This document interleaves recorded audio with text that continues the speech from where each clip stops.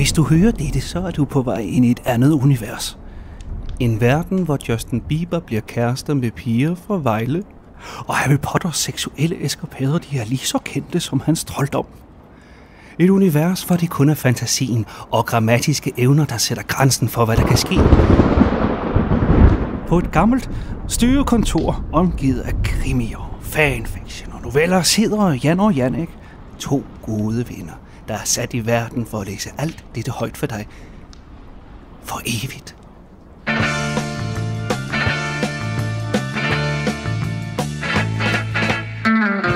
Goddag og velkommen til dette første afsnit af podcasten Sløjtlæsning. En højtlæsningspodcast med dine værter, Jannik Dahl Pedersen, det er mig, og... Jan Warborg Hansen, det er mig. Ja, hej Jan. Hej. Øh, jamen, i Sløjtlæsning, der læser mig og Jan fanfiction sammen, som vi øh, finder på nettet.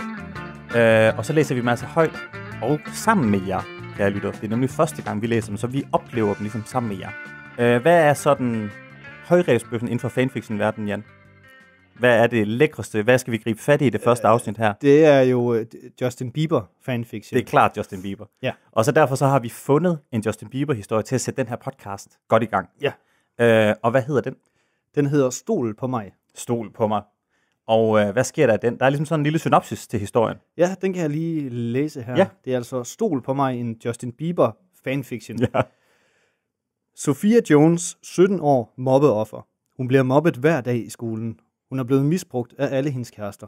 Øh. Der går, det går mere og mere ned ad bakke, hvilket hendes forældre lægger mærke til.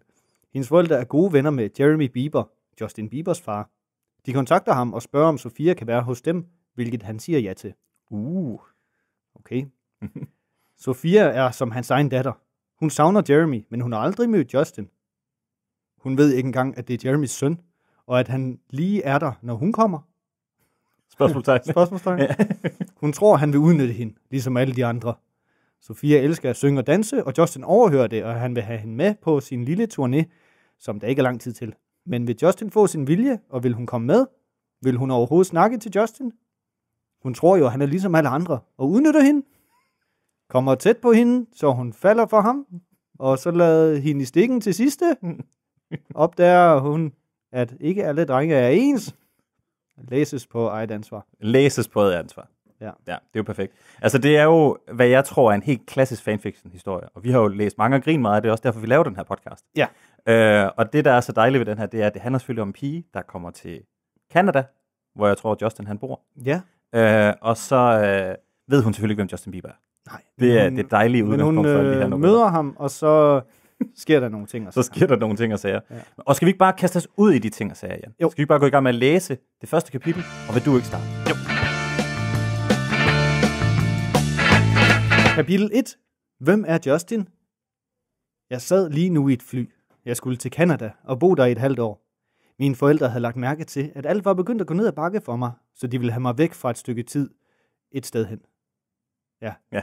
Det, vi læser det jo, som det står. Ja, De ville have mig væk fra et stykke tid hen, et stykke, ja.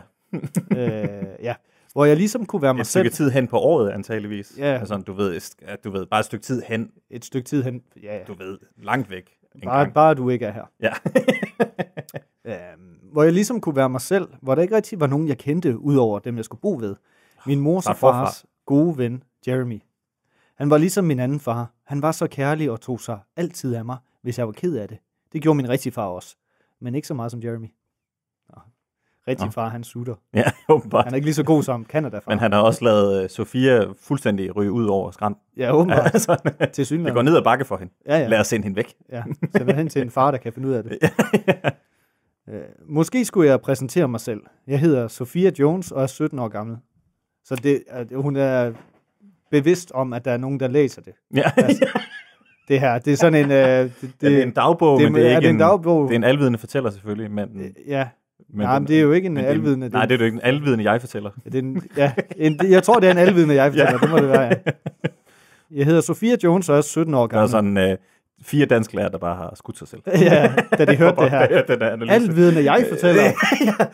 Hvad fanden er det for noget? Hvor fanden er min regelbog? Jamen, hun er 17 år gammel, tidligere mobbeoffer og blev misbrugt af alle hendes kærester. Alle mine kærester, står der. Mm. Jeg kunne ikke komme over det. Selvom jeg ved, at man ikke skal se tilbage i tiden, så kan jeg ikke lade være. Nej.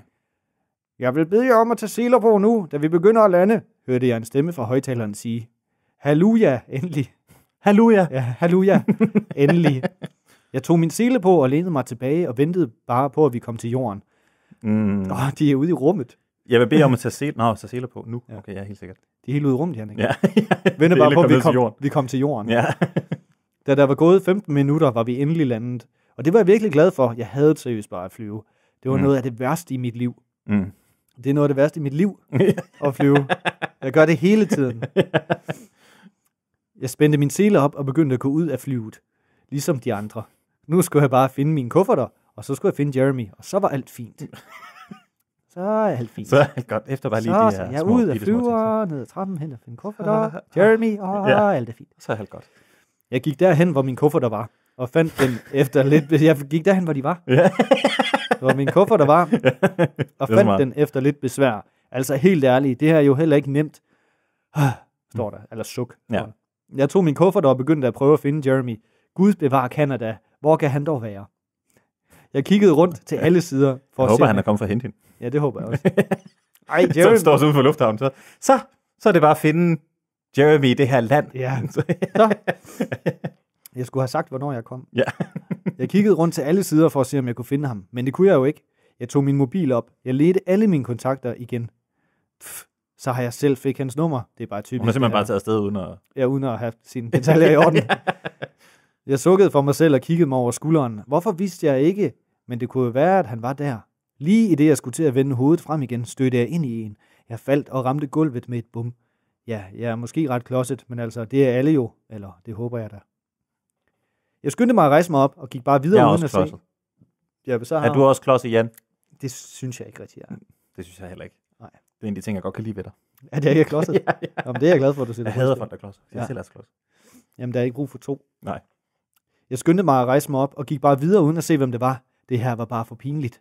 Jeg kunne mærke, at mine kinder brændte, og lige om lidt ville jeg sikkert være knaldrød i hovedet, hvis jeg ikke allerede var det. Okay, nu skulle jeg altså finde Jeremy, og det kunne ikke gå for hurtigt.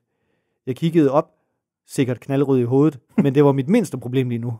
For at se, om jeg overhovedet kunne se Jeremy, og til min store held fik jeg øje på ham. Jeg nærmest løb hen til ham, eller faktisk, så løb jeg. Jeg skulle bare væk herfra. Jeg løb næsten, men jeg Jeg løb næsten, i faktisk, hvis man tænker over det, når jeg ser til retrospektiv, så løb jeg. Jeg løb nærmest. Altså, det er jo løgn. Altså, Jeg løb. jeg løb. Jeg løb. Sofia, hun er en spændende karakter. Hun, Det er, er hun. hun er mange ting på én gang. Hun til, det går hurtigt for hende. Ja. Sofia! Hørte jeg Jeremy råbe, da han så mig komme løbende. Jeg kunne lige så godt sige det. Jeg ser ud som en idiot, når jeg løb. Så er I advaret. I vil ikke se det. Seriøst. da jeg var kommet hen til ham, slagte jeg min kufferter og gav ham et kæmpe kram, som han gengældte. Hej Jeremy, sagde jeg, da jeg trak mig af krammet. Jeg smilede sikkert som en idiot, men det var altså også 100 år siden, jeg sidst havde set ham. Hun har så lavt selvtillid. Ja, det har hun karakter. nok. Sådan helt vildt. Helt sygt lavt selvtillid. Øh, det var altså også 100 år siden, jeg sidst har set ham. Eller, nu er jeg ikke 100 år, men det er en talemåde. Ja, okay, håber I har forstået det, for jeg overgår ikke at forklare det. Jeg kalder mig doven. Okay, jeg er doven, og hvad så? Det har man lov til at være en gang imellem. Eller hele tiden. Forfatteren smelter fuldstændig. ja, ja. Det her, Sofia bliver til forfatteren. Lige i Ja, ja, glimt. Hun, hun mister Kort grebet. Ja, ja, Den, den så, så vigtige skillelinje, der er Ja. mellem forfatter og, Ja, præcis, og, og ja. hovedkarakter. ja, Den smuldrer for hende. ja. Jeremy, han står bare og kigger på hende, mens hun står bare sådan, Ja, og tænker, jeg kører bare sådan, I, I know kung fu. Bare kørt igennem hele Ja. The Matrix. Bare, fuldstændig Matrix. bare bladret igennem hele sit hoved. Ja. Og Jeremy står bare og kigger på hende, og så er han bare sådan, hvad skal vi komme afsted? Øh, taxameter kører. Ja. Skal vi se at komme afsted? spurgte Jeremy om, og jeg smilede bare stort og nikkede ivrigt. Måske for ivrigt. Men jeg glæder mig også til at se Jasmine og Jackson. Jeg savnede virkelig også dem. Jeremy grinte, for han vidste godt, hvad jeg hentede til. Men hey, jeg lagde ikke skjul på det. Hvad er det her for noget? ja. Jeremy tog mine to kufferter efter en lang diskussion om, at han ikke behøvede, vandt han alligevel. en En lang, lang diskussion. en lang diskussion. Nej, Nej, Jeremy. Jeremy. Kom nu, lad mig nu bare tage Lad mig nu dem. Ja, står hun ikke ud ved bilen? Nej. Nej, tak. Jeg kan godt selv. Jeg kan. I'm strong woman. Jeg kan godt selv. Nå, nå. Ja, okay. Men nu tager jeg dem altså. Ja. Nå, så vinder du. ja, så vinder du den her. Han var der også så fanden stedig, når det kom til mig. Jeremy tog min kuffert ind i hans bil, mens jeg satte mig ind foran. Altså bare på den modsatte side af rettet. Jeg kunne jo ikke køre. det kunne nu ellers have været meget sjovt. Udover det ville det nok gå galt. tangenterne. Fuldstændig. Det vil nok gå galt, men det er lige meget. Vi køber bare en ny bil. mm. Står der parentes. Haha, har seriøst fået det på hjernen. Parentes slut. Haha, ej, jeg burde nok hellere lade være. For min og Jeremys skyld, det ville bare ende galt, hvilket vi ikke skulle have. Jeg ville i hvert fald ikke dø ung. Måske bare dø, ensom, med 30 hunde. Ja, hunde, ikke katte. Jeg skulle lige være modsat her. Ja, og fordi jeg dør ensom, er fordi jeg har opgivet kærlighed. Mm. Kærlighed er bare ikke mig, og sådan er det bare. Det har jeg lært at leve med, men jeg må bare videre. Men igen, det er svært. Det er rigtigt. Det tog ikke ret lang tid fra lufthavnen og så hjem til Jeremy, men på den korte tid havde vi virkelig snakket om meget, men det var også lang tid siden, vi sidst har set hinanden, så det var rart. Igen tog Jeremy min kufferter, selvom jeg sagde, at jeg nok skulle tage dem. Men det ville han ikke høre tale om, så altså, jeg måtte overgive mig. Nej, Øh, nej, nej, slip du den. tog dem sidst. Ja, ja. Jamen, jeg tager dem lige igen. Nej, slip, slip de det er kufferter. kuffert. Så sætter jeg mig på dem. Jeg sætter mig på kufferten. Jamen, så løfter jeg også bare dig. Okay. Wow. Du var nok stedet, Jeremy. Ah, Du er så stedig, Jeremy. Ja. Men det er Jeg også kom til at gøre sådan, så karakteren flyttede med ham. Det var ikke muligt. Du er så stedig. Det var så stedig. Du er stedig. Ja. Ikke biologisk. Stedig, ikke far. Ikke biologiske far. ikke blodskamsfar. Nej. Jeg fik nøglen til døren. Jeg låste den op, hvor jeg bagefter åbnede den for Du Jeremy, selv tage de kufferter. da, da han jo havde en kuffert i hver sin hånd. Ja, måske er to kufferter lidt, men altså, jeg har masser af penge med. Mine Mm. forældre er faktisk rige, så det undrede mig, at vi ikke kom herhen noget oftere, men altså, det er jo så, hvad det er. Sådan har jeg også begyndt, nu hvor jeg er blevet voksen, så er jeg begyndt at få det sådan, når jeg pakker, at så tænker jeg, hvis jeg mangler noget, så køber jeg den, der kommer frem. Fuldstændig enig. Sådan har jeg fået det. Fuldstændig enig, sådan har jeg det også. Ja, ja, ja. Ja, det er sådan, jamen, altså, så køber jeg altså en t-shirt. ja, ja. Fuck it. Det, er- det har jeg råd til. Jeg går bare ned på markedet, Ja. og så køber jeg den, den første øh, Supreme t-shirt, jeg, jeg kan finde. Den første, du ser, om så er der nogen, der har Ja. den på. Du er ligeglad. Jeg skal bare have den der Ralph Lauren polo Ja. Til 30 kroner. ja. Øh, Det er en super out of character at have sådan en på af dig. Men, Ja, det er det. Ja. De sagde, at jeg bare kunne købe en masse tøj, hvis jeg manglede noget, men det er nu normalt for dem. Jeremy løftede min kuffert ovenpå, mens jeg bare fulgte med. Så det er simpelthen, fordi hendes forældre er rige, at de ikke har tid til at tage sig af hende. Ja, det må vel være det. Ja. Det er jo en klassisk fortælling. Ja, ja. Er Jackson og Jasmine ikke hjemme? spurgte jeg om. Jeg havde virkelig savnet dem meget. De er ude at handle med Aaron, sagde han og smilede til mig. Uden at vide super meget om Justin Bieber, for det gør jeg bestemt ikke. Nej. Så er jeg ret sikker på, at det er hans sådan småsøskende. Ja. Jasmine og Jackson. Ja, men det er jo så det, hvor at man måske kan begynde at stille spørgsmålstegn ved. Fordi det har du ret i, at det er det. Ja, Hvad kan begynde at stille spørgsmålstegn ved. Hvis hun kender dem, Ja. hvorfor ved hun så ikke, hvem Justin den, Bieber den ældste bror er? ja. Det er jo mærkeligt. Det er meget mærkeligt. Øhm, jeg havde virkelig savnet dem meget. Når de at handle med Aaron, sagde han og Ja. smilede til mig. Jeg smilede igen og nikkede så. Jeg gik med ham hen til gæsteværelset, hvor jeg nu skulle have værelse. Det var stort og hvidt og stilfuldt. Jeg gik med ham hen til gæsteværelset, som da jeg entrerer det, bliver til mit værelse. Bliver til mit Så værelse. for ophører det med at være gæsteværelse. Ja. For nu er det mig, der bor. Slut med det. Ja, Begyndte at skrabe bogstaverne af døren. ja, ja. Omgående. Giv mig, stik mig en ligekage. Kan jeg lave det her G om til et, øh, til et S, måske? Jeg smilede igen, og nå, det har jeg læst. Øh, det var stort og hvidt og stilfuldt. Jeremy satte min kuffert og sagde, at jeg bare kunne begynde at pakke ud, hvilket jeg gjorde. Jeg lagde mit tøj ind i walk-in closet. Selvom jeg aldrig havde brugt det, så vidste jeg, hvor det var. Mm. Mit makeup endte ude på mit eget toilet, sammen med alle mine hårting og tandbørste. Jeg havde været her to gange før, og det her værelse havde altid været mit, står der i anførselstegn. Ja. Mm. Jeg havde lige lagt det sidste på plads, da jeg kunne høre to velkendte dejlige stemmer nedenunder, hvilket fik mig til at styrte ned ad trappen. Da Jasmine og Jackson fik øje på mig, var de ikke langsomt til at komme hen til mig. Jeg satte mig på knæ, og lidt efter blev overfaldet af de to dejlige rødder.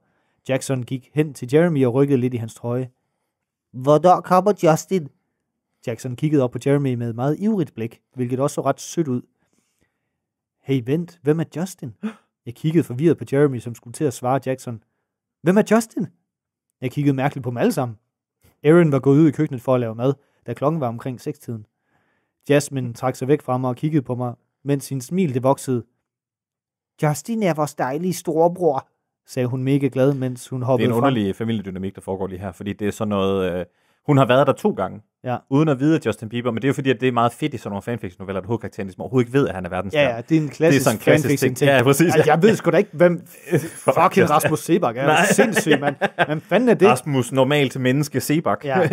Hvad fanden er, ham, der du så special ved ham? Åh Ja. oh, gud, jeg er blevet forelsket nu. Ja. og så viser det sig, at han er en af Danmarks største popmusikere. Og han er bare så fantastisk ja, og. Ja, ja. Nå, det er ham fra radioen. Nå, Den sang har det jeg er jo hørt. Ja, meget klassisk øh, fanfiction, så det er det, hun prøver på at skabe. Ja. Ja. Men samtidig så fortæller hun også en historie om en familie, der ikke snakker om Justin, når han ikke er der. Ja. Og som i tale sætter ham som, og hvor børnene ved, at hun ikke ved det. Ja, ja, Det er vores dejlige storebror. ja præcis. Så det er som om, at uh, Justin Bieber han har sådan noget kamera op derhjemme, Ja. der holder øje med, hvad de laver, når han ikke er der. Fordi det er sådan, Det er vores have. det er vores dejlige storebror, siger hun, mens hun sådan kigger nervøst op i loftet. Og er sådan den nervøst, nervøst over på en æggekoger. ved det, hvornår hun lytter med. Øh, Det er jo tydeligvis ham, der betaler for alting. Det antager jeg i hvert fald. det tror jeg også. øh, Jævnfør hans status. ja, som uh, popstar. Ikon. Øh, Justin nye Michael storebror, sagde hun meget glad, mens hun hoppede frem, hvilket fik mig til at grine svagt. Hov, vent deres store bror! Det er fedt, det er det, hun overrasker over. Ja, ja. Det er ja. ikke De har en bror. storebror, det er Nej. store ellipser. Ja, ja, Bror! ja. Hun har set store mennesker før. Ja.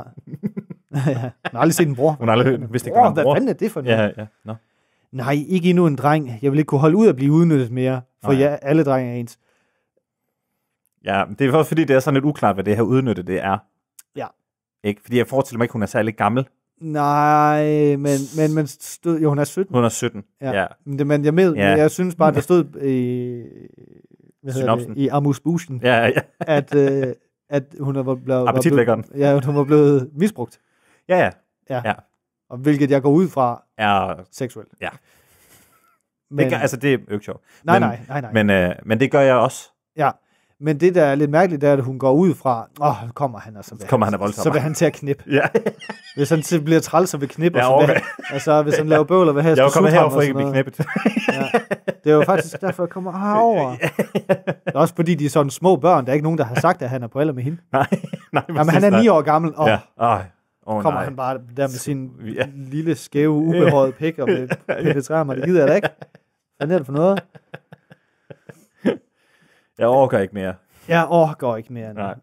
Uh, ja, for alle Hvilket er drenge helt ens. okay. Ja, ja, Ikke det er orke. så Det er fint. super okay. Det kan jeg så godt forstå. Det, ja, det, Ja. det, det overgår jeg heller ikke. Nej, Jeg er helt på hendes side der. Nej. Overgår heller ikke blive voldtaget. fuldstændig. Alle drenge er ens. Håber bare ikke, Jackson bliver som dem. Mm. Ah, troede lige, den her dag skulle være god, men så får man den nyhed smidt i hovedet. Tak. Jeg prøvede at smile, hvilket også gik meget godt. Han kommer i morgen, hørte jeg Jeremy sige, inden han gik gennem stuen og ud i køkkenet for at hjælpe Aaron. Vi havde lige spist, og nu pjattede jeg med Jasmine og Jackson ud i haven. Det var jo sommer, så vejret var dejligt varmt. Mm. Jeg løb efter dem, men jeg løb med vilje langsomt. De grinede helt vildt begge to, og tro mig, det gjorde jeg også. Gud, hvor kunne jeg mærke, at jeg havde savnet dem. De var så dejlige. Jeg lagde mig ned på græsset, og mindre end få sekunder havde jeg to børn oven på mig. Jeg åbnede øjnene, som jeg havde lukket, og kunne se, at jeg havde gættet rigtigt. Det var Jasmine og Jackson, de så vidunderlige børn. Mm. Det er dårligt gættet, Ja, Altså, ja, fordi det er så nemt at gætte. ja, ja, Jeg går ud i haven med de her børn, lukker øjnene, Ja. og nu ligger der to oven på mig, ja, som er børnestørrelse. ja.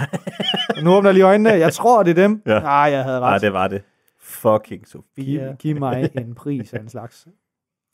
Øh, og kunne se, at jeg havde gættet rigtigt. Det var, det var de to vidunderlige børn. Ja. Klokken var næsten 12, og jeg var i gang med at gøre, og nu der var lige et hop i tid der. Ja. Klokken var næsten 12, og jeg var gået i gang med at gøre mig klar til at sove. De skulle åbenbart hente Justin i lufthavnen, hvilket de skulle køre mega tidligt, på grund af en masse folk kom. Men helt seriøst, hvorfor kom der en masse piger og drenge derhen? Justin var jo bare en almindelig dreng, ikke? Ikke? Ikke? Ikke? Det der, hvorfor kom der en hel masse piger og drenge derhen? Ja, ja. Det er også sådan, hun ikke noget at hvor, hvor forfatteren ikke lige sådan tænker, nu putter jeg lidt for meget info Ja. ind i hovedet på den her hovedkarakter. Fordi hvorfor skulle hovedkarakteren hvorfor? tænke, Hvorfor? kommer der en masse piger og drenge derhen? ja, ja. det må også være træls at kunne lande en flyver uden at blive overfaldet. Det må da være rigtig Det træt. må da være super træls. Kapitel 2. Nå, ham. Jeg kunne mærke en person ruske i mig. Jeg mumlede nogle utydelige lyde, som jeg faktisk ikke engang selv forstod. Sofia, du skal op nu. Vi skal hente Justin. Jeg kunne høre på stemmen, at det var Aaron. Jeg havde også et meget godt forhold til hende. Hun var lidt ligesom min moster, eller sådan noget. Ja, ja, jeg kommer lige om lidt, sagde jeg. Må jeg lige sige noget? Ja. Det er mega grineren, at hun er i talesætter uh, Jeremy som Han er ligesom sådan en ekstra far. Ja, ja, ja. Så Jeremys kone, Ja. øh, hun er... Hun er mere sådan moster. hun er ikke en ekstra mor. Nej, Hun er mere... hun er mere sådan moster. Ja, ja. du ved, Ja. har ikke rigtig Det forhold til altså den eneste fejl, min Canada-far har, det er, at han knipper sin egen søster. det er lidt klammer. Altså, det er totalt mærkeligt, at han er sammen med sin egen søster. ja. ja, hun siger ikke faster, heldigvis. Nej, nej. Det klamt, han er sammen med sin svigerinde. ja, ja, Altså, præcis. Ja, I stedet for hans kone. Ja. Øhm, ja, ja, ja, jeg kommer lige om lidt, sagde jeg. Ventede mig om, så jeg lå med hovedet ned i puden. Jeg kunne høre hende grine, hvorefter hun gik ud af mit værelse, dog med døren åben. Jeg sukkede højlydt og løftede så mit hoved fra min dejlige hovedpude. Det sgu da heldigt, hun går ud af værelset med døren åben. Ja, ja, ja. Dog med døren åben. Dog med døren åben. Aaron plejer at være lige direkte igennem. Jeg går direkte igennem døren. Ja. Øh, der er morgenmad, hvis du vil have noget. Jeg kiggede hen mod døren og så Jasmine stå med et kæmpe smil på læben. Nå, der er morgenmad, hvis du vil have noget. Jeg kiggede hen mod døren og så Jasmine stå med en kæmpe smil på læben. Hun måtte have savnet Justin. Jeg vidste godt, Jeremy var skilt med en, der hed Patricia, men de kan hende altid for Patty, når de snakkede om hende. Hun virkede som en sød kvinde. Nå, det er rigtigt. Justin Biebers mor hedder Patty i virkeligheden. Nå, okay. Ja. Nå. Så Jeremy er blevet skilt, og så Ja. begynder at knalde sin søster. sine- ja. Eller, Eller Ja, Pattys søster. Ja, Pattys søster Ja. må det jo så være. Jeg smilede til Jasmine og sagde, at jeg kom om lidt, hvilket fik hende til at styrte ned ad trappen. Man kunne både se og høre, at hun var helt vildt glad. Det var faktisk sødt til hende. Meget sødt endda. Men hun havde altid været smilende og glad, ligesom Jackson. Jeg rejste mig fra min dejlige seng og gik med meget dogne skridt hen til mi walk-in closet. Wake-in closet, står der. til mi, mi oh, jeg er wake-in. søvnig. Jeg kan lige have mit wake-in closet. ja, som de havde givet mig, eller det hørte til værelset. Men jeg havde aldrig brugt det. Jeg tog fat i håndtaget og trak ned i det, hvor jeg i dag efter åbnede døren og gik ind. Uh, oh, der var mange detaljer. Stor drama. ja, ja. Stor Ja, men så drama. går jeg lige hen, så tager jeg ved i dørhåndtaget, Ja. og så åbner jeg døren. Det var ren Hitchcock. Master of Hold da suspense. Uh, du godeste. ja. Uh, hun gik ind, og det skal lige siges, det er i hvert fald ikke lille. det, hun er mega god til sådan, hvad hedder sådan noget? Det hedder, når man... Uh, Humble bragger. Ja, helt vildt, ja. ja. Øhm, øh, bop, bop, bop. Øh, da, der var, da der jo var varmt, fandt en af mine yndlingskjoler frem. Jeremy havde sagt, at jeg bare skulle gøre et, et godt indtryk, tage nogenlunde fint tøj på og bla bla bla. Faktisk så lød det bare som bla bla bla for mig. Måske fordi jeg ikke ville høre efter. Nå, lige meget. Videre. Hvorfor er han sådan? hvorfor er Jeremy Hvorfor er? Jeremy sådan, hey, nu kommer min søn Nu hjem. kommer Justin, han kommer hjem, så vi skal lige, du ved. Prøv lige at skubbe dem der op. Ja. Prøv lige at skubbe dem der op. Prøv lige at tage damerne med, ikke? Tage damerne Ja. med frem. Ja, det er sådan, hun er sådan en offring. Eller sådan, du ved, at, at det ligesom, at hun, du ved, de har, de har ligesom lavet hende til at, at gøre hende Nå, klar ja. til, at nu kommer. Ja. Justin Bieber kommer og skal have dig. Så det Ja, vil være fint, hvis du lige tog noget, Hvis du lige gider noget nice tøj på. bob dig lidt op. Ja. Nå. Nå, lige meget videre, står der. Uh, jeg tog kjolen ned fra bøjlen og gik så ud igen. Jeg behøvede jo ikke strømmebukser eller noget, selvom klokken kun var tre. Men det er lige meget. Jeg havde alligevel ikke planer om at sidde i bilen og slet ikke snakke med ham. Men hvad Jeremy ville sige til det, ja, det vidste jeg ikke. Men nu må vi jo se. Og uh, skulle Jeremy sige noget til, at hun ikke har strømmebukser på? Er det, der foregår lige nu, Jan? Nej, det der med, at hun ikke har tænkt sig at snakke med ham, tror jeg. Nå, okay, helt sikkert. Det giver jo super Okay, ja. Jeg forstår heller ikke, at klokken kun er tre. Men lad os læse videre og finde ud af, hvad der foregår. Jeg så kjolen med ud på badeværelset, som hørte til mit værelse, samt undertøj, hvor jeg så skiftede. Jeg fandt en rød sløjfe frem fra en af skufferne. Jeg tog min hårbørste og redte mit hår, hvor, efter, hvor jeg derefter puttede sløjfe i mit hår om bagved. Jeg orkede ikke rigtig at gøre noget af mig selv, så jeg lagde bare lidt mascara på. Jeg skulle jo ikke score nogen. Det er jo ikke meningen, at jeg skal score nogen, Jan. Det tror hun. Haha, det skulle jeg aldrig, så det kunne være lige meget. Jeg gik lige på toilettet, hvor jeg bagefter vaskede mine fingre og begyndte at bevæge mig ud på mit værelse. Ja, så jeg kunne komme ud på gang og ned ad trappen for at få noget morgenmad, selvom jeg ikke var ret sulten. Men noget skulle jeg jo have. Jeg kom ned ad trappen og gik så hen mod stuen, som man skulle igennem for at komme til køkkenet. Da jeg kom ud, det er bare, hvis der er nogen, der vil bygge det her i The Sims, så er det meget ja, godt at vide præcis, hvordan så kan I huset lige det er sammensat. hvordan, øh, øh, der sad de alle sammen og spiste. Jasmine og Jackson så virkelig søde ud, når de spiste. Hvad er det, jeg siger? De ser hele tiden søde ud. Men nu er de jo også søde, så altså ja. Jeg satte mig ned ved siden af Jeremy, da Aaron sad over på den anden side, imellem Jackson og ja- Jasmine. Jeg tog en bolle og tog lidt pålægtschokolade på. Har man det i Canada? Pålægtschokolade? Er det ikke en øh, sådan dansk? jeg ved ikke, om det er ligesom i Holland, at man har øh, det der krømmel. Har man sådan noget krømmel i Holland? I Holland, der har man jo ikke pålægtschokolade, der har man sådan noget, altså pålægtschokolade, men de der stykker, der ligger tilbage fra pålægtschokolade. Det der, Dem, som der er bare sådan sådan haps, dem må jeg godt lige spise. ja, ja, dem, man ikke putter på brødet. Ja. Som man bare lige haps. som ofte sker, hvis du køber øh, Carletti. Jeg køber altid Carletti af samme årsag. eller hvad hedder det? Søren, det er jo Søren Sømand, ikke? Ja. Carletti. Søren Sømand. Det, der hed Søren Sømand før. Nå, det ved jeg ikke noget om. Ikke dem, som er, ikke dem, der kommer i den gule pakke, hvor det er sådan noget Stop med at insistere med at snakke om det. rillet noget, som smelter, men mere dem, der er i sådan nogle... Jeg købte altid det der gu- gule pakke, fordi der var klistermærker udenpå med dyr, som jeg Ja, samlede men det på. hedder, hvad det hedder? Hvad fanden er det hedder? Det er, sådan Det er Toms. Toms, ja. Er det Toms? Thomsen eller sådan noget? Ja. Er det ikke Toms? Det var det i hvert fald efter, jeg havde været i dem. Så, så den helt toms. Det var sjovt. ja, Det var joke. det var en joke. Uh, Justin er sikkert også en af dem. Uh, bare, bare, bare. Jeg håber bare, at Jackson ikke bliver som alle de andre drenge, jeg har kendt. Justin er sikkert bare også en af dem. Bare en af dem i en lang række. Mig og Aaron begyndte at grine, men gik så ud på gangen. Hvad fanden er det? Har jeg hoppet over noget, eller hvad? Nej, jeg tog polychokolade på. Jeg skulle alligevel ud og løbe senere i dag, så det gjorde altså ikke noget. Nå, okay. Det var der, du var Nå, okay, helt sikkert, ja. Øh, uh, mig og Aaron begyndte at grine, men gik så ud på gangen og fik sko og jakke på. Vi gik ud af døren, og Aaron låste, mens jeg gik ned til bilen med Jasmine. Jackson og Jeremy var allerede i bilen. I deres bil kunne der være otte personer. To foran, tre i midten og to bagerst. Jeg åbnede døren for Jasmine og hjalp hende op i hendes stol, hvor jeg bagefter spændte scenen for hende. Hun smilede stort. Man kunne se på, at hun ikke kunne vente, og det samme på Jackson.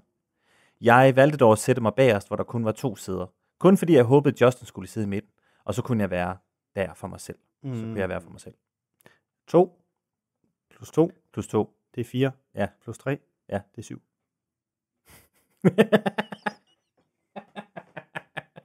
Der er plads til otte, Der er men det er fordi, de har sådan en, der er sådan nogle biler, To hvor der er sådan foran. en ekstra sæde om i bagagerummet. To foran, tre i midten, og så to bagved. Men det er fordi, at Sofia, mennesker, du. hun er vant til at køre om i bagagerummet med Prøv, det, er sådan her, det er sådan her, man ender med, at det her det bliver til alene hjemme, Sofia. Ja,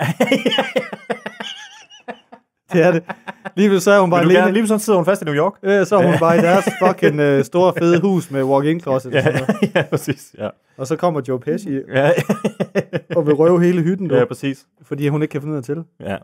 Uh, det tog ikke ret lang tid at komme hen til lufthavnen. Jeg kiggede ud af vinduet og var ved at tabe mund. Nøn. Tabe munden. Jeg var ved at tabe munden. Du godste. Jeg så alle de piger og få drenge. Så mange at se, så mange for at se en normal dreng. Ja, Der var- selvfølgelig, din spade. Ja, ja, De kommer der for at se en helt normal 17-årig kanadier. ja, præcis. Det hedder Justin Bieber, som tilfældigvis flyver De alene. kommer helt fra fransk øh, Canada og Ja. siger, wow, wow, wow. Der var også politi og alt muligt andet. Men hvorfor? Det forstod jeg ikke. Hey, det kunne jo være, der kom en kendt med det fly, Justin fløj med. Og så stod de og ventede på ham, eller hende, for de ville jo ikke vente på en normal dreng. Har du forstået det nu, Jan? Ja, Jeg kunne tror høre Jeremy og Aaron griner nok over mit ansigt, der så sikkert også meget sjovt ud. Jeremy fik parkeret bilen og steg ud. Aaron blev sammen med de to små dejlige unger. Og mig? Ja. Jeg blev tvunget ud af Jeremy, og til sidst så opgav jeg og gik med ham. Skrigene blev dog kun højere af det. Hold dig til mig, og svar ikke på nogen spørgsmål, sagde han, og så alvorligt på mig. Det er fedt, at han griber fat i hende. Ja. Ja, du bliver lige ved siden af mig. Du siger stille, at du siger ikke noget. Nej, præcis. Det er det samme, du sagde to gange. Ja. Det er fordi, det er vigtigt. Hvorfor vidste jeg ikke, men jeg valgte at adlyde, lidt ligesom en hund. Okay, ja, wuff, wuff. Så okay, yes. tag dig sammen. Jeg sagde, der var lige et Sofia, øjeblik, hvor du er ikke en hund. du havde besluttet for at springe det over. Ja, Men jeg tænkte, Jannik, nu går du tilbage. ja præcis. Wuff, wuff, okay, tag dig sammen, Sofia, du er ikke en hund, men et menneske. Selvom det nu kunne være sjovt at være en hund for en dag, men det kommer jo aldrig til at ske. Så det kunne jeg lige så godt glemme. Men ah, hvornår får jeg den dumme tanke ud af hovedet? ja. Hvornår indser jeg, jeg bliver aldrig en hund? Sofia, hvad sidder du og tænker på? Ikke noget. Jeg sidder og tænker på den der film med Tim Allen, hvor han får lov at han blive bliver til en hund. Er det filmen, du Så tænker på hold igen? nu op, Sofia, det kommer aldrig til at ske. Stop med at tænke på det hele tiden. Jamen, jeg, jeg, jeg ved det godt. Jeg ved det jo. Altså. Jeg, et eller andet sted, så ved jeg det godt.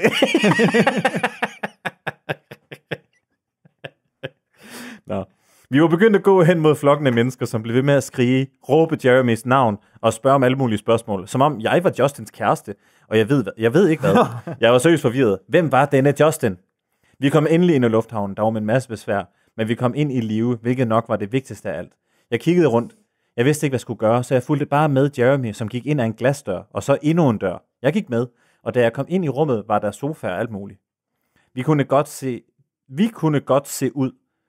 Nå, men andre kunne ikke se ind. Okay, så det er sådan noget glas med spejl på ydersiden ja. af en eller anden årsag. Haha. Øh, hvilket faktisk var meget smart. Mental high five til den person, der opfandt det.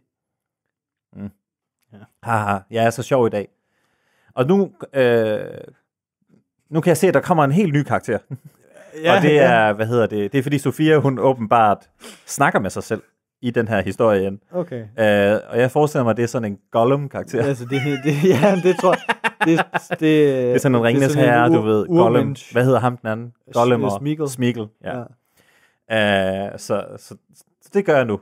Okay, Den laver ja, jeg. det, er du klar? Det gør du bare. Du kører Okay. Haha, jeg er så sjov i dag. Nej, du er ikke. Stop så at stemme mit hoved. Det er mig, der bestemmer. Så jo, jeg er sjov. Nej, du er stadigvæk ikke. Stop så. Nej.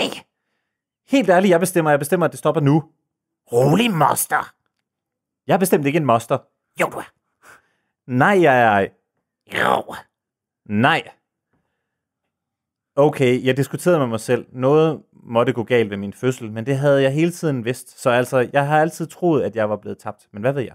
Jeg ved faktisk, øh, jeg ved faktisk meget. Jeg er nemlig pisseklog, fortæller Sofia og så, som forfatteren. Ja. Nej, du er ikke. Stemme, stop så det der. Tak. Hvorfor? Tss, Hvorfor? Jeg har det nu meget hyggeligt. Helt seriøst, det er ikke sjovt mere. Jo, det er. Nej, det er jeg. Okay. Okay. Ja, okay. Hvorfor okay? Hvorfor ikke? Ja, det ved jeg ikke. Men hvorfor skulle jeg stoppe? Fordi jeg siger det. Og jeg nåede ikke at komme længere ind i min diskussion med mig selv, før døren til rummet gik op. Jeg kiggede derhen og så en eller anden fyr komme ind. Jeg lænede mig tilbage i sofaen, som jeg havde sat mig i, mens jeg havde min diskussion med mig selv. Han var faktisk okay læge. Nej, Sofia, stop det, står der så. ja. Hun må ikke være... Hvorfor? Han er da pisse lækker. Øh, nej, ikke dig igen, stemme. Øh, jo. Gå væk. Bare sig, du hader mig. Nu er jeg ked af det. Jeg sagde det ikke. Jeg hentede til det. Sofia, jorden kalder. Jeg kom til mig selv og rystede på hovedet og så, at Jeremy stod foran mig og liftede en hånd foran mit ansigt. Han begyndte at grine, hvilket bare fik mig til at ryste på hovedet af ham og rejse mig op. Jeg tror, det er godt, at Sofia hun lige er kommet på ferie. Det tror jeg også. Det er... Er jeg den eneste, der har det sådan, at Sofia hun har det meget, meget mærkeligt. Det er meget bizart. Hun har det max underligt. Men jeg vil Ja. så til gengæld sige, jeg håber, det er noget, der sker løbende. Ja, Fordi jeg synes, det er en ret spændende ting. ja, ja, præcis. Sådan Ja, jeg her. håber til gengæld, at diskussionerne måske bliver lidt bedre. Ja, lidt. End, nej, du er ikke. jo, jo, du er. Nej, nej. Nej, jeg er ikke. Jo, du er. Ja, det har fandme været en lang ring. Det, det, er jo, den er jo, det er jo med i 5 timers udgaven af Ringnes her. Ja, Så, jamen det er jo det. Altså, af de to tårne, hele, der hele er der Two bare Towers sådan- Extended Cut. Ja, Der er lidt mere med Boromir og Faramir, og så bare en hel masse jakkedi jak. jo, du er. Nej, jeg er ikke. Nej, jeg er ikke. Tag ringen på. Nej, jeg vil ikke. Jo, det vil jeg gerne. Ja. Uh, jeg tog smilende imod den, mens han... Ah, bop, bop, bop, bop. Justin kom hen til mig hentydet til, at jeg skulle tage imod hans hånd. Suk. Jeg gad ikke, men blev nødt til det. Jeg tog smilende imod den, mens han sagde, Justin, men du kender mig nok. Jeg kiggede mærkeligt på ham. Gud, Jeremy må elske det her. At jeg ikke vidste, hvem han var. Øh, nej, jeg ved ikke, hvem du er, sagde jeg, og kiggede mærkeligt på ham, mens jeg tog min hånd til mig og trådte et skridt tilbage. Da jeg ikke kunne holde ud og stå så tæt på ham. Han kiggede forvirret på mig. Siger Justin Bieber der noget? Øh, nej. Han fik forvirret glemt og kiggede over på Jeremy, som flækkede af grin.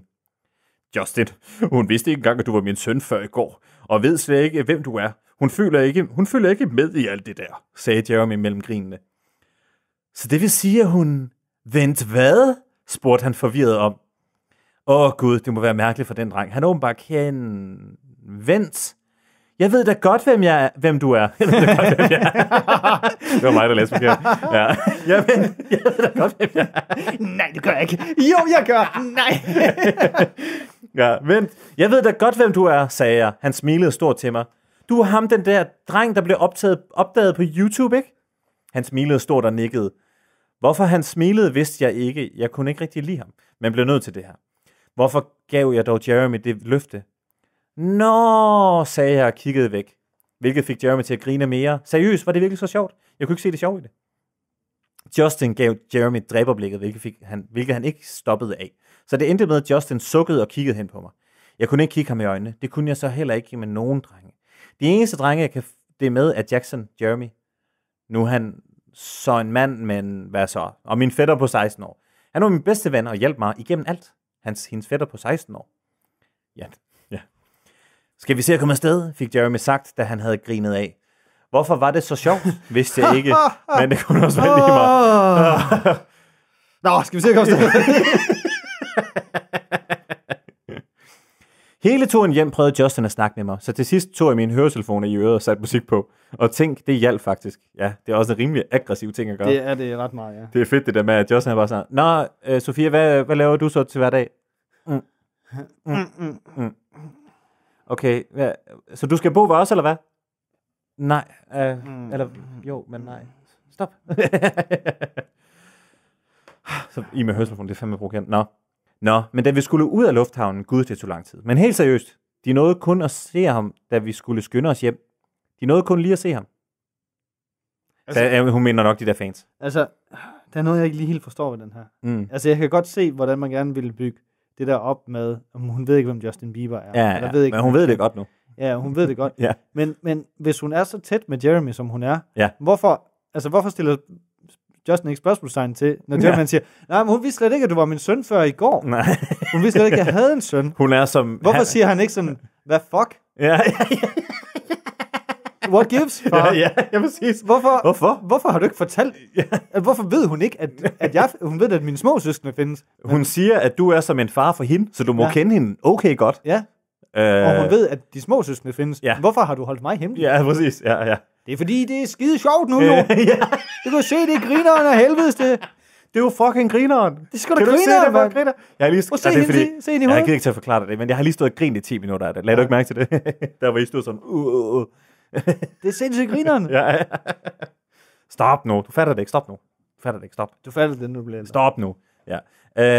Øh, ba, ba, ba. Nå, Jackson og Jasmine var helt vildt glade for at se ham, men nu havde han nok også været væk i lang tid. Vi havde været hjemme i godt og vel fire timer, jeg havde sovet i to timer. Jeg havde besluttet mig, at jeg ikke orkede at løbe, så det kunne jeg vente med til i morgen. Hun havde ellers spist pollechokolade, fordi hun skulle ud og løbe, Jan. Ja, Og nu vælger hun ikke at gøre det. det er farligt. Det er meget, meget svært for mig at identificere med. Den slags. Ja, det er nu, jeg kan slet ikke følge karakteren med Nej, overhovedet. nu er jeg glædet helt ud af den. Det er Ja. slet ikke noget, som jeg kunne finde på at gøre. Nej, overhovedet ikke. Øhm, det minder mig om, at jeg skal ringe til min fætter. Jeg savnede ham utrolig meget. Jeg fandt min iPhone frem og fandt hans nummer. Jeg trykkede på ring op, og der gik ikke lang tid, før jeg hørte min fætters trætte stemme. Hej, det er Mathias. Jeg var så glad for at høre hans stemme. Det er Sofia, sagde jeg med en meget glad stemme. Hvad så? spurgte han. Den er gang mere glad. Joe Jeremy har åbenbart den her søn, øh, Justin, er det ikke det, han hedder? Nå, men men det er også lige meget. Men du ved, hvordan jeg har det med drenge, og Sofia, jeg ved godt, bare tag det stille og roligt. Det skal nok gå. Stiller. Fedt, S-T-L-L-E-R. Stiller, bare tag det stille og roligt. Det skal nok gå. Men Sofia, hvad er det, vi har snakket om, sagde han. Jeg sukkede. Fint. Dygtig pige, grinede han.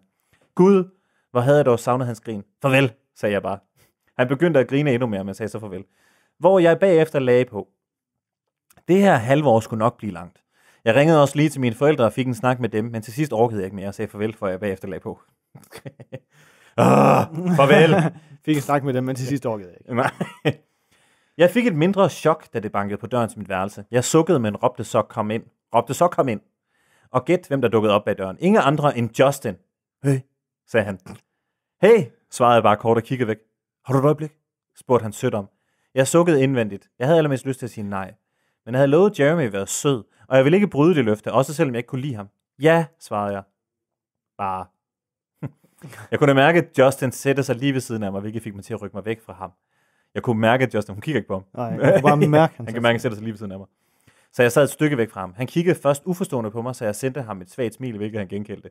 Det er fucking griner det der med, at han, jeg elsker Justin Bieber i det her, fordi at han er sådan en af dem, hvor, øh, du ved, han er sådan, øh, hvorfor vil du ikke have mig?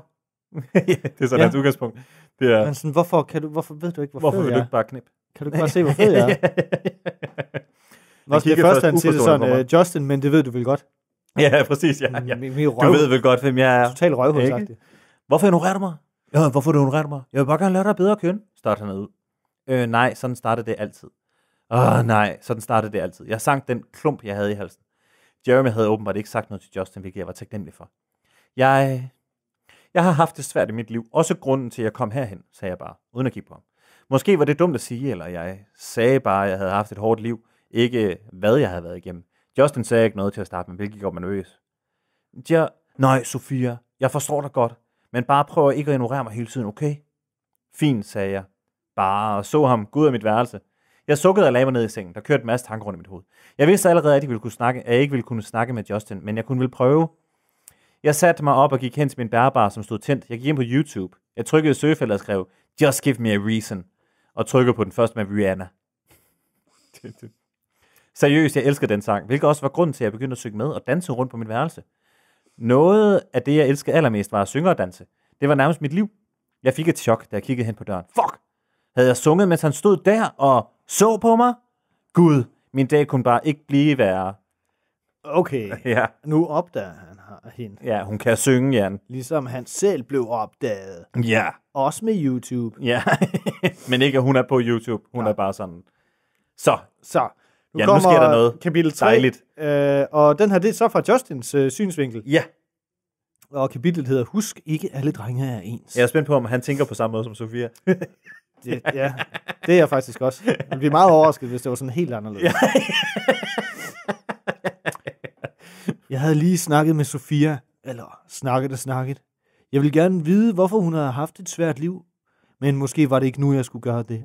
Hun virkede, som om hun blev tvunget til at være sød mod mig. Men hvorfor? Okay, måske var det bare mærkeligt for hende, at jeg er kendt. Ja, det må altså være det. Hun virkede ellers som en sød pige. Min far havde fortalt noget om hende, men ikke at hun haft et svært liv.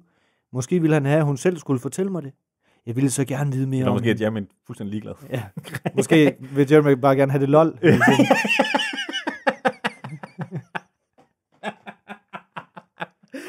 Hey, øh, hej, øh, ja, det er din kammerat fra Danmark. Øh, vi har sådan en datter, der har det sådan super pres, og sådan, så tænker vi på, om vi ikke skulle tage halvt år til Canada. Så Jeremy har telefonen bare sådan, det lyder fucking grineren, lad os gøre det. Sygt grineren. Jo, helt sikkert. Ja, men det er Jamen, fordi, jeg tænkte hun, er sådan, hun hun har været sammen med nogle, nogle fyre, der sådan har pff, været sammen Hun er, med jo, rigtig, rigtig, hun er jo nogen, øh, nogenlunde jævnaldrende med, med, med Justin også. Ja, De, ja. Altså, de har jo sikkert øh, meget, meget til fælles. Nå, ja, Justin, ja, helt sikkert. Ja. Ja. Helt sikkert. Ja, altså, fuck, man. Han ved ikke, at hun ikke ved. Ja, ja. At jeg aldrig har fortalt det der. Fuck, det bliver griner. Ja, ja, Justin, helt sikkert. Ja, ja, men de, ja, plejer, ja, de men- andre gange, hun har været her, der har de bare snakket rigtig fint sammen. Så det gør vi bare. De har masser af ting at snakke Ja, ja. om, de to. Du sender hende bare op. Jeg troede mere, at han ville være sådan, undskyld, hvad for en Justin? Jeg kender ikke nogen, der hedder Justin, og han altid bare insisterer på, at han ikke findes. Din søn? Nej. Nej, det- det jamen, jeg tror ikke, jeg kender nogen. Der er ikke nogen i det her hus, der hedder Justin. Nej, det er der ikke. øh, jeg vil bare så gerne vide mere om hende, men hun virkede så fjern. Det var bare det, der gjorde det hele så svært for mig. Jeg er ikke vant til det, men nogle gange skal man jo prøve noget nyt. Er det ikke det, man siger? Jeg kunne høre noget musik inden fra Sofias værelse af. Det var også det, der gjorde sådan, at jeg rejste mig fra min dejlige seng. Jeg listede derhen, da hun ikke skulle opdage mig. Jeg kunne høre sangen, hun sang med. Oh my god. Nå, jeg kunne høre sangen, hun sang med. oh my god. Hun er sgu da et talent. Hun, Det er fedt, du kvæler et bøvs, og så sådan, oh my god, hun er sgu da et talent. hun, øh, hun er fantastisk. Jeg stoppede op i døren og så hende danse rundt. Jeg fik et svagt smil på læben, mens jeg bare betragtede hende. Men i det, jeg håbede, jeg ikke blev opdaget, skete det jo. Typisk. Altid, når jeg står og lurer på nogen. Ja. Så lige når, Lige, jeg, når, lige når jeg tænker, at jeg håber godt nok, at jeg bliver opdaget, jeg så tænker, sker det. Det er rigtig vigtigt, at jeg ikke bliver opdaget nu. Så det har jeg altid opdaget. Ej, Justin Bieber. Ej. Oh, træls. det var så irriterende. Ej, Jeg håber fandme ikke, at jeg bliver opdaget. Jeg håber fandme ikke, at blive opdaget nu. Det var sygt iri. ja. Mega iri at blive opdaget. ja, ah, så sker det bare. Typ. Nå, fuck, hvor typ. Jeg håber virkelig ikke, jeg bliver opdaget nu. Åh, oh, nej. Og Så, så er der bare sådan en lommelygte lige i Det mit ansigt. virkelig, virkelig god famous last words. Ja. Jeg håber fandme ikke, jeg bliver opdaget lige nu. Uh. øhm, ja, typisk. Mm. Ja, ja. Hun stoppede alle sine bevægelser. Hun stopper også med at trække vejret. Jeg vidste ikke, hvad jeg skulle gøre, så jeg gik bare ind på værelset. Jeg kunne se, hun var nervøs. Men hvorfor? Jeg ville jo ikke gøre hende noget. Måske ikke nu. Men Hvorfor måske så senere. bange? Hey, hey, rolig, nej. Gør så ind på værelset sådan helt svævende. Hvorfor så nervøs? Du må ikke skrige, du må ikke skrige. Holde hende. Ja. Ja. Nej, du må ikke skrige. Nej. Jeg ender med at fæle hende ja, ja. med en pude. ja. Øh, jeg vil jo ikke gøre hende noget. Måske ikke nu, men måske senere. Så vil du ikke gøre hende noget. Ikke lige nu i hvert fald. I hvert fald ikke Måske nu. senere. Måske Hvem ved? senere. Måske senere. Måske, Jeg ved ikke, om jeg bliver lidelig senere. måske får jeg en af mine episoder senere. En af mine ring til management med det samme episoder. Oplevelser. Ja, ja. Det her skal dækkes over situationer. Ja.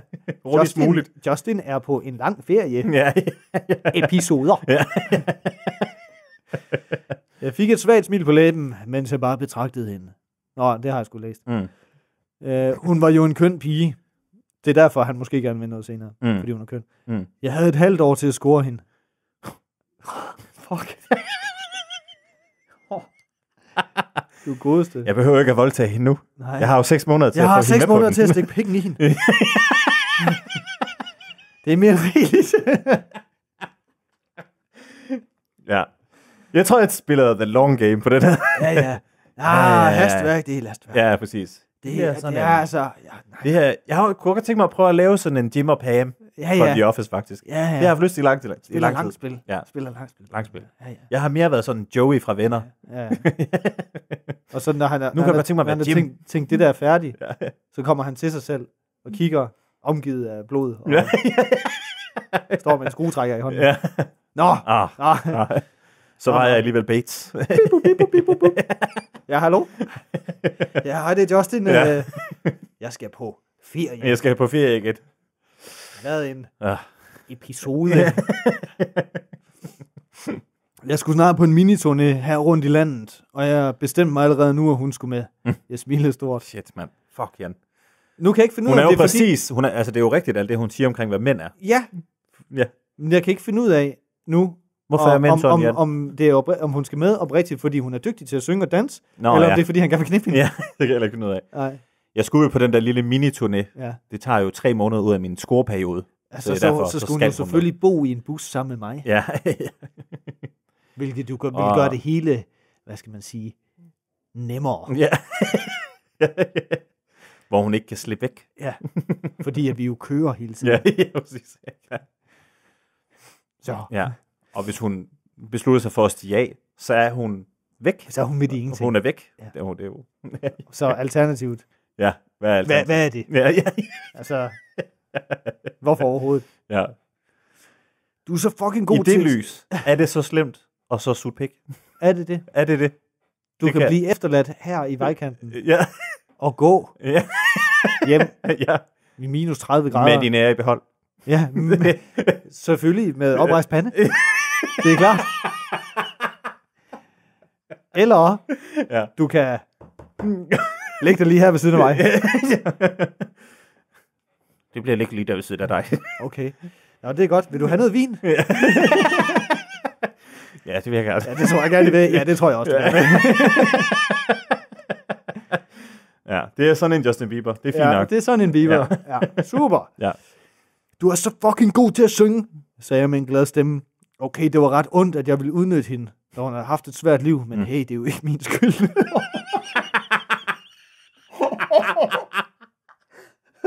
Hvorfor forfatteren skrevet det her udgave Justin jeg Bieber? Jeg antager, at forfatteren er fan af Justin Bieber. Ja. Hvorfor skriver hun så sådan noget her? det ved jeg da ikke.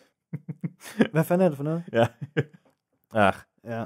Men det er jo lidt det, det, der, ikke, lidt det der, Jeg ved ikke, hvad der er rigtigt. han tænker jo, det er jo lidt sådan, hvis man går og ryger en cigaret, Ja. og så man sådan vil putte den i sådan en askebær, men det er helt overfyldt, Ja. og sådan falder ved siden af, så er man Ja. sådan lidt, nå ja, whatever. ja, jeg prøvede. Ja, ja. Ja. Det er jo ikke min skyld. Ja, ja. Det, er, det her, det er fucked up i forvejen. ja. Videre. Ja, det er ikke et synspunkt, jeg deler, Nej. skal jeg lige nej, nej, vi smider altid vores. Ja, ja, ja, ja. øhm, jeg vil altid... Det er jo ikke min skyld. Jeg altid vil udnytte hende, men jeg måtte spille en god ven, og lære hende ikke, at ikke alle er drenge er ens, Mm. eller det skal hun tro. Ej, Ja. ej det er virkelig... Bare jern igennem, Ja, okay, ja, Nu kører ja. du bare fremad. Okay, super. Ja. Hun smilede svagt og røde med, det gik jo allerede fremad. Hun mumlede tak. Kom med mig på min miniturné rundt i landet her om en uge, sagde jeg og kiggede sødt på hende. Hun løftede sit hoved og kiggede på mig med hendes flotte brune øjne, som passede perfekt til hende. Never, sagde hun kort. Jeg kiggede på hende med store øjne. Sagde hun lige nej? Og, og afviste hun mig lige? Åh. Lækker, dejlige, hotte. Jeg kunne blive ved i evigheder. Mig? Man skulle ikke afvise mig. Det kom man aldrig godt for. Jeg valgte hurtigt min søde facade. kom nu, det kunne være så hyggeligt, sagde jeg, og hoppede som Fuck, en mega glad pige, som havde fået en god nyhed. Gud, det måtte se dumt ud. Hun sukkede tungt. Jeg vil ikke, sagde hun bestemt. Okay, den pige leger med ilden. Jeg valgte bare at vende mig om og så gå ned til min far. Han skulle nok få hende overtalt. Fuck! Fuck, hvor er det sygt. ja. Ja. Altså, vi har jo læst fanfiction sammen før, men det her Ja. ja. det er absolut den sygeste Justin Bieber, jeg nogensinde har læst. Det er det. han, er, han er jo udtalt psykopat. Altså, han- han ved det jo selv. Ja, ja. Jeg vælger at putte min flinke facade på. Ja, ja. Altså, Åh hvor oh, nej, ja, nu skal vi lige tilbage. Ja. ja. Lige finde masken, Justin. Ja, Ej, kom nu, det kunne være helt vildt hyggeligt. ja, ja. Ej, det har jeg altså ikke lyst til. Okay, nu, det er bedst, hvis jeg bare går ud Ja. Ellers så går det her hurtigt meget galt. Så kan det godt gå. Ej, hvor sygt. Okay. Jeg går lige ned og siger til far, at planen ikke fungerer. Ja. ja. Nå, men så skifter den så til uh, Sofias uh, synsvinkel. ja. Justin vendte bare om og fik, da jeg sagde, at jeg ikke ville. Haha, what a bicht. Bicht. Det står der. Det tror jeg, det er tysk for bitch. Ellers er det forkert sted. What a bicht. Hvad er bicht? Er en bicht? Was für ein Bicht. det så faktisk meget sjovt ud, men jeg var alligevel stadig pisse sur på ham. Han havde bare stået og set mig synge og danse. Ja, okay, jeg er måske pigesur, men alligevel, hvad bilder han sig ind?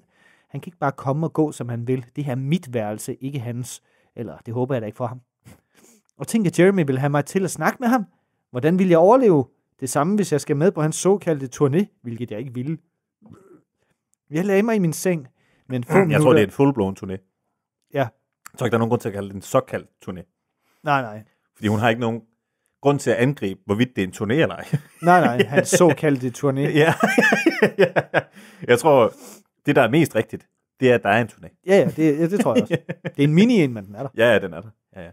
Jeg lagde mig i min seng, men få minutter efter gik døren op, og Justin stod med et lumsk smil. Åh, nej. oh, gud, hvad har den dreng nu fundet på? Jeremy skubbede Justin til siden, så han endte med at falde, og jeg flækkede af grin. Shit. For seriøst, det så fucker sjovt ud. Justin kiggede bare på mig med det der, lad være med at grine blik. Men det kunne jeg ikke se. Men det kunne jeg ikke, for det var seriøst for sjovt. Jeg sagde jo, at alle mennesker er klodset, så det er ikke kun mig. Jeg tog mig til maven og prøvede på at trække vejret ordentligt, og det lykkedes dog, så, dog også til sidst. Jeremy havde sat sig i min seng, mens Justin stod over ved døren.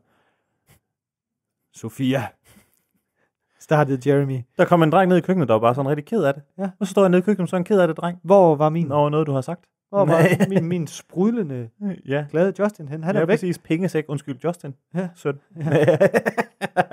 Hvor er min pengemaskine? ja, hvor er min pengemaskine? Hvor er min ATM hen? Hvor er han hen? Min smilende ATM? Jeg kan ikke finde ud af, hvordan jeg skal spille Jeremy her. Nej. Jeg kan ikke finde ud af, om Jeremy han er indåndet, eller om han er øh, presset af Han er Justin. bare lotteren. Han synes bare, det var fucking Nå ja, griner, det er selvfølgelig rigtigt, ja. Han synes bare, det var fucking griner, Sofia, som med. Jeg blev helt Jeremy går nervøs. ned, Justin går ned i køkkenet sådan, far, Sofia hun gider ikke med på en turné, det synes jeg, at det kunne være sjovt, hvis hun var det. Jeg kan fucking godt se, Ja, hvad det det kunne sgu da griner. mega lol. Det ville være sygt griner. Det kunne da være mega nice, Ja, ja, ja, ja, hvis de bare slår afsted. Ja, Det kan jeg faktisk godt. Kan faktisk godt se, at det godt kunne være sjovt. Ja. Jeg kan faktisk godt se joken i det. Ja, ja. Fordi hun skulle herop sådan og slappe af. ja, ja. Så man så kører rundt til alle mulige. Ja, ja, det er grineren. Det fucking griner. Det griner. Øh, Jeg blev helt nervøs og begyndte langsomt at ryste. Jeg vidste ikke, hvad det her var, og jeg endte med at nikke. Du skal med Justin på hans miniturné om en uge, sagde han. Det var som om, at min verden gik i stå. Jamen, ikke noget jamen. Du er god til at synge, så du skal være hans opvarmer. og desuden, så vil det være godt for dig. Du kan også lære Justin bedre at kende. Og det var, og det var ikke noget, jeg skulle have sagt. det er og bliver sådan, sagde han, og jeg sukkede. Så skal der vel også være nogle regler, ellers så bliver jeg hjemme, sagde jeg og gav Jeremy et strengt blik og pegede med min tommelfinger på ham. For eksempel første regel kunne være, ikke knip mig. Ikke knip. For at vise, at jeg virkelig mente det. Jeg pegede med min tommelfinger på ham, for at vise, at jeg virkelig mente det. Ja, det, det er også et stærkt move. Det gør, hvad fanden var det? Var det, det var George Bush, der gjorde det. Han peger altid med tommelfingeren. Gjorde han det? Ja. Det er fordi, det er en, øh, hvad hedder det, øh, man gør det, det gør politikere tit, øh, fordi at det er en ikke-aggressiv måde at pege på nogen. Ja, det er rigtigt. Så hvis man peger med tommelfingeren, Ja, hvis, når, når der bliver taget billeder også, Ja, ja, præcis. Ja, pressen står der, Ja, ja, og så, så har de bare en hel masse billeder, man giver thumbs up til folk. ja præcis. Ja, det er det. Ja, De, de har ikke sådan smart. en anklagende. Det er skide godt ting. ja, ja. Rigtig godt. Men nu hvor man ved det, så er det jo ikke så godt. det er rigtigt. Nu er det lige på tommelfingeren, der er... Ja, nu ved man jo godt, at det, Ja, ja, ja. de giver jo ikke thumbs up, de, Nej. de peger. Øh, Det her afsnit af podcasten Ja, ja, ja, ja. er slettet, fordi det er en information, ikke må Ja, komme ja, ud. det må ikke komme ud. Ja, ja, ja, ja. Ja, Hvad har I sagt i podcasten? Har I sagt, har I sagt det med tommelfingeren? Ringer ind fra Podimo. Ja. Hallo? øh, har I sagt det der med politiker-tommelfingeren i podcasten? Ja. Nå, I lige startet. ja. I lige startet. ja, det, vi sagde det. Jeg ved det godt, Podimo. Ej, det kan I simpelthen ikke være bekendt. Det var noget, vi sagde til jer i fortrolighed. Ja. Ja, undskyld. Ja, undskyld. Ja. Undskyld, Podimo. Undskyld. Øhm, Hvor er vi henne, Jan? Ja, det ved jeg ikke. Ja, ja, ja, det er helt i orden. Øh, vi ordner det her det næste dag, sagde Jeremy, og gik ud af mit værelse. Justin stod stadigvæk i døren. Er du så barnlig, at du ikke kunne klare det selv? Spurgte jeg ham om, mens jeg Mm. lagde hovedet på skår. Jeg ville lige pine ham lidt. Det står der. Der skal stå skrå. Ja, skår, ja. Ikke at hun lægger sit ansigt ned med en glas skår. Hvorfor er du så barnlig, at du ikke vil med? spurgte han og løftede det ene øjenbryn. Jeg spurgte dig om noget, søde skat, sagde jeg. Man kunne se, at jeg legede med ilden, men det elskede jeg nu også at gøre. Hun er sådan lidt flirtende. Ja, ja. ja. Det kommer er til at selv- gå rigtig galt for dem Ja, på et det tidspunkt, gør det her. ja, det gør det altså. Ja, det gør det. Det bliver meget, meget spicy. Ja. Huha. Øh, du leger med ilden, sagde han. Det her skulle nok blive sjovt. Ja, jeg er meget usikker på mig selv og alt det der, men jeg havde altid haft det sjovt med at lege med ilden. I Det passer jo til hendes karakter. I know, sagde jeg og blinkede med øjet. Okay, det skete selv for mig det her, men jeg følte mig mere selvsikker. Åh oh, nej. Hvorfor så blive ved, når du ved, du leger med ilden? sagde han i en mere vred tone. Fordi At jeg- Beauty and the at jeg altid har elsket det, sagde jeg. Det her var seriøst for sjovt. Han begyndte at gå hen imod mig. Jeg kan lide, at du er sådan lidt... Fuck, fuck, fuck. Jeg kunne ikke det her mere, så jeg begyndte at bakke. Han begyndte bare at grine af det. Er lille Sofia nu blevet bange? Vel er jeg ej, sagde jeg hurtigt. Måske for hurtigt. Han gik hurtigere, og jeg bakkede hurtigere, hvilket endte med, at jeg ramte væggen. Han stod nu helt foran mig, og lagde hans pande mod min, og kørte hans ene finger over mine læber. Jeg vidste ikke, hvor jeg skulle kigge hen, så jeg kiggede rundt i panik, om hvad han kunne finde på. Mit hjerte hamrede mod mit bryst. Han ville sikkert udnytte mig, som alle de andre. Han var som alle de andre. Han kiggede på mig op og ned af min krop. Jeg følte mig usikker, og jeg følte mig lammet. Jeg kunne ikke gøre noget. Han skulle til at kysse mig, eller det troede jeg, for da han stoppede op nogle centimeter fra mine læber. Sofia, husk nu, at ikke alle drenge er ens, sagde han, hvor han vendte sig om og gik ud fra mit værelse. Hvordan vidste han?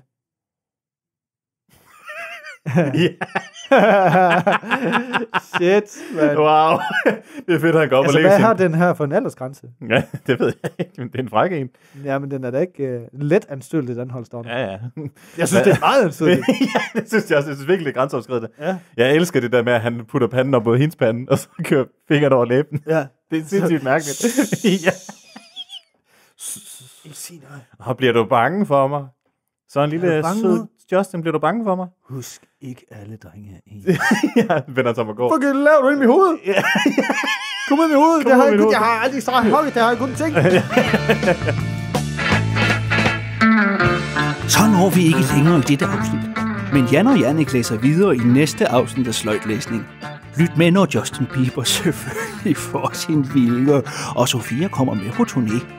Justin arrangerer en date med Sofia, og så kommer sangeren Osher på besøg. Ja, jeg sagde Osher. Han skal nemlig køre Sofia og Justin i Tivoli. Sikke en gruttermand. Husk, at du kan følge sløjtlæsning på Podimo, så bliver du mindet om det næste afsnit. Sidder I derude på en historie, som I gerne vil have læst højt, som I enten selv har skrevet eller læst, så hold ikke tilbage. Find os på Facebook og Instagram. Send den til os hurtigst muligt, så lover vi at kaste os over den i et kommende afsnit. Tusind, tusind tak, fordi du lyttede til Sløjtlisten.